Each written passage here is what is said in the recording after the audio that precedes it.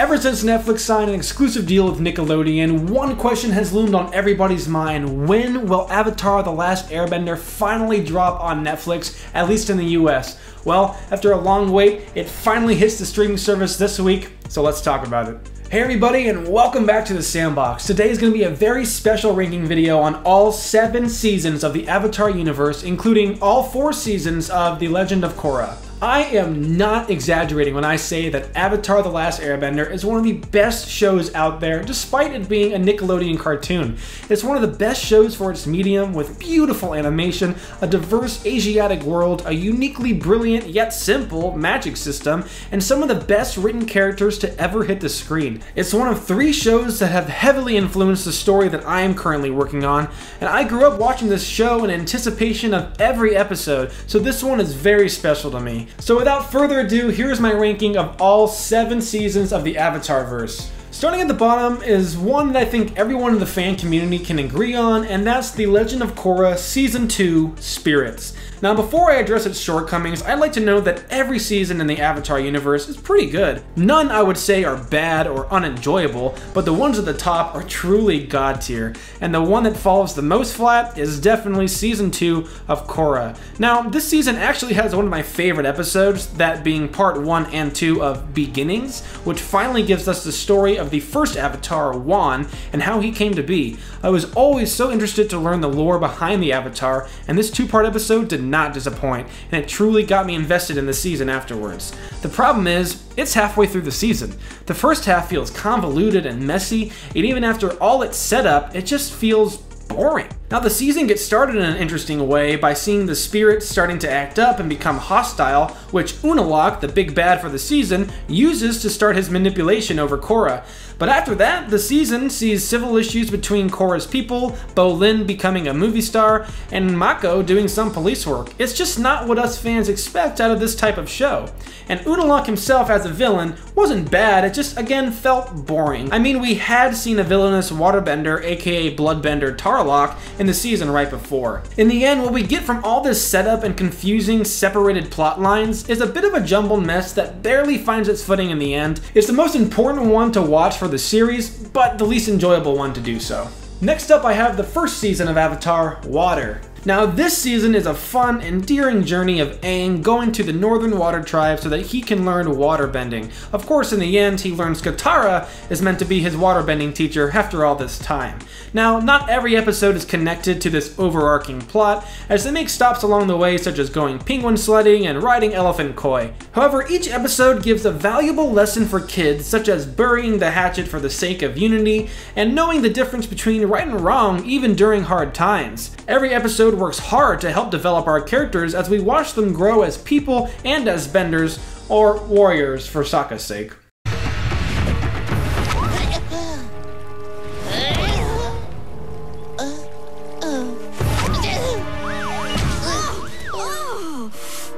Good try, but no. The only thing that holds this season back is that it is the most kid-friendly season, as the show was designed for kids, being a Nickelodeon show and all. However, after Nick saw the potential for this show with this season, I think they definitely allowed for the showrunners to up the ante a bit. Now that's not to say this season was too childish, episodes like The Storm and The Blue Spirit really show how powerful this kids show can be. But I also think this first season suffers the most of too many one-off episodes that don't tie into the overarching story, and we really don't see Aang learn waterbending, except for the one time he practices with Katara, of course until the end when they finally arrive to the Northern Water Tribe and meet Master Pakku. Overall, this first season is a great introduction to the world, the characters, and the story, but it can't compare to the seasons that follow. Next up is The Legend of Korra Season 4, Balance. Now, overall, I think this season was a pretty solid ending for Korra. It left us with sweet sentiments and showed us that Korra's hot-headedness would indeed dissipate with time. It had some of the best and some of the worst animation in the series. I'm sorry, but those mech suits just didn't do it for me. This season really digs a hole for Korra to climb out of, and no earthbending allowed. She really suffers, and at times it can feel like her character does as well, but at the same time, a lot of it feels necessary for her growth as the Avatar. This season, she goes up against many difficult trials, but the big bad this time is the fascist leader Kuvira, who is a wicked metalbender. I wish they had spent more time to develop her backstory and give her some pathos, but really most of the time, Kuvira was just your typical bad guy for the sake of bad. She did think she was doing the best best thing for her people, but it's not until the very end when Korra defeats her and then saves her that she realizes she's been wrong. Now, even though this season gives us some pretty big highs and very big lows for our characters, one thing remains constant this season's itching desire to keep Korra down in that hole. It just feels like they were trying way too hard to make her weak from her scars inflicted by Zaheer and the Red Lotus. Now, it makes sense because, let's be honest, Korra normally would wipe the floor with Kuvira, but instead of upping the ante with Kuvira by giving her a backstory or buffing up her power levels to strengthen the season's potential, they instead chose to nerf down Korra and keep her constantly battered down. Maybe it was just an excuse to throw in Toph to mentor Korra for an episode, I'm not sure. But after what Korra went through, especially in Season 2, Kuvira just seems like her typical sandbox bully. See what I did there? Next up on my list, right in the middle, is Korra Season 1 Air.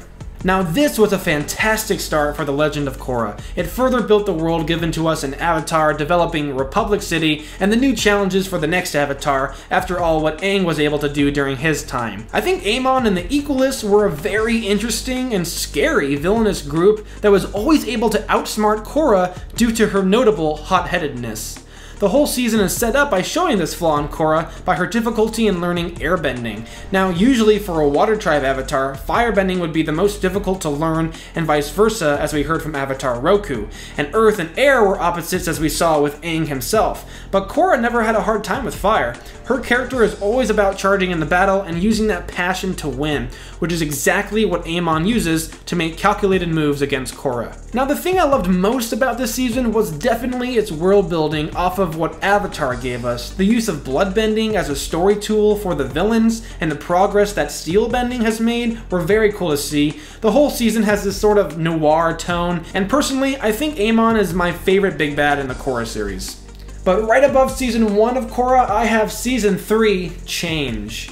This is definitely the fan favorite amongst the Korra community, and for good reason. It's the closest the show ever gets to Avatar, with its exciting and straightforward plotline, awesome animation, interesting philosophy, and tons of epic Avatar world action. Plus, the season shows true growth for Korra, where she finally chooses self-sacrifice instead of battle, and empowering others over her own sense of adventure. Zaheer and his bandits of the Red Lotus are powerful, intense, and scary. They believe the natural state of the world is chaos, and they want to help help re-achieve that. And sometimes the hardest parts for Korra isn't fighting Zaheer, but questioning whether he's right or not. This season fixes outlying issues from the ones before it, and it sets up the final season of Korra very well. It's definitely the best that Korra has ever been. However, above it, at number 2, I have Avatar The Last Airbender Season 3 Fire. This season is just amazing. It's focused, intense, hilarious, chilling, surprising, epic. It's as good as a finale season can be for a show, with the invasion of the Day of Black Sun, the rescue mission at the Boiling Rock prison, and the inevitable showdown during Sozin's Comet. While Aang definitely steals a spotlight during most of this season, I find that he struggles to do so, going up against the likes of Sokka, Katara, and Zuko. Zuko's transformation is finally realized in this season, and it is epic. You've heard me talk about it before on this channel, but Zuko's character arc is tremendously awesome and sad at the same time. You really feel for this guy who you have every right to hate, but watching him grow throughout this series thanks to his experience against his father and growth with Uncle Iroh makes you realize that he's just a byproduct of his history. We all are. But our shortcomings will never define who we are in the end. Our mistakes don't have to control our destiny. We can always rise up and overcome them. Iroh knew Zuko had lost his way, and while he never forced him back, he was always constantly nudging him back in the right direction. I think Sokka is at his best in this season. He's hilarious and really shows true promise as a leader. He does a lot this season from his journey to the Boiling Rock with Zuko to his warpath on an airship. And meanwhile, Katara goes through a huge transformation this season from becoming the Painted Lady to finally coming to terms with her mom's death. Honestly, besides Fire Lord Ozai, I think Katara is the most terrifying character in this season. There are times where she is truly sinister, but it's all necessary so that she can come to grips with her mom's death and forgive Zuko in the end. The animation, the music, the character arc conclusions, and the awesome bending action make this season truly a classic.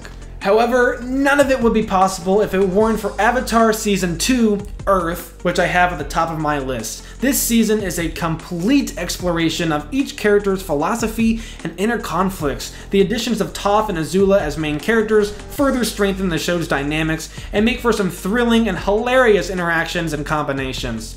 This season is much more focused than season 1 for the overarching plot at hand, and while the season still has one-off episodes, each one feels more impactful and significant for these certain plot lines and arcs. Zuko alone is a huge turning point for Zuko's character, that's an awesome deep dive into his inner struggle, and fleshes out more of his backstory. Appa's Lost Days is probably the most powerful and emotional episode of the series for me, showing us just what Appa had to go through while he was separated from Team Avatar. Episodes like these, along with Tales of Ba Sing Se, really allow us to understand each and every character, their goals and aspirations, their motivation, their ideologies, and their struggles. Probably most memorable for me is the episode Bitter Work. I truly love this episode since it shows us just how connected these four forms of bending are. Iroh uses water bending techniques to teach Zuko how to redirect lightning, a technique Iroh hopes Zuko will never have to use. That along with watching Aang struggle with earthbending as it goes against his very nature makes this episode remarkable in my eyes. Plus, Sokka is absolutely hilarious in this episode, getting stuck in a ditch and befriending his would-be dinner.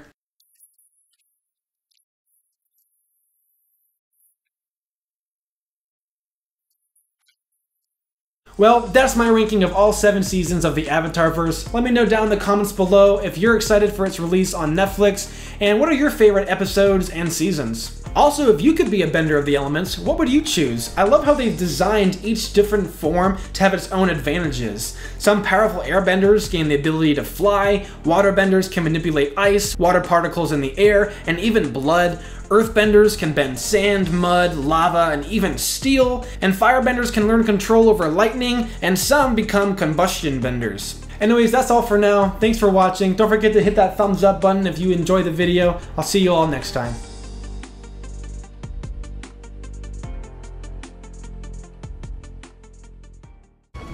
My first girlfriend turned into the moon. That's rough, buddy.